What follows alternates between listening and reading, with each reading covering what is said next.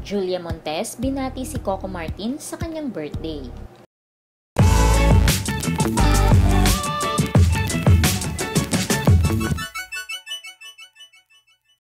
Matapos sa mga viral na larawan na nagpapakita ng controversial na aktres na si Julia Montes habang namimili sa isang supermarket sa Green Hills, si Julia ay muling nagparamdam sa social media nang mag-post siya ng larawan ni Coco Martin sa Instagram upang batiin ng aktor sa kanyang kaarawan kahapon November 1. Nag-post ang aktres ng isang naka-frame na larawan ni Coco habang isinulat lamang niya ang HBD sa caption na may isang emoji kiss at isang cake. Si Julia ay halos matagal na wala sa showbiz matapos ang isang chismis na malawak na kumalat sa social media na nagsabing buntis siya at di umano'y si Coco Martin ang ama ng kanyang ipinagbubuntis. Bagamat ang chismis na ito hindi kailanman nakumpirma ng parehong mga kampo, ang haka-haka ay lubos na naisa publiko dahil sa ilang mga sumusuporta sa isyong ito.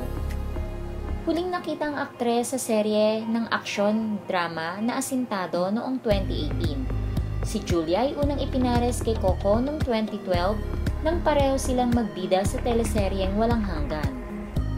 Noong Enero 2018 sa programang Magandang Buhay, tinanong si Julia kung kasintahan niya si Coco, na hindi naman kinumpirma ng aktres at itinanggi ang relasyon nila. Samantala, ang mga netizens ay mabilis na tumugon sa nakakagulat na post na ito mula kay Julia. Narito at tingnan natin ang kanilang mga reaksyon.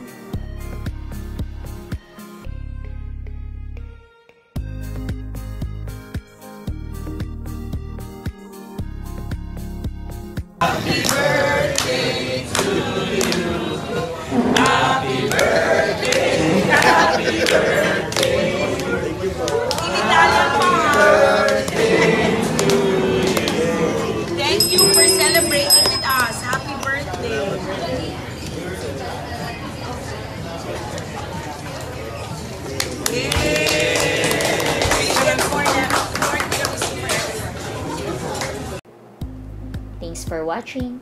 Please like, comment, and subscribe.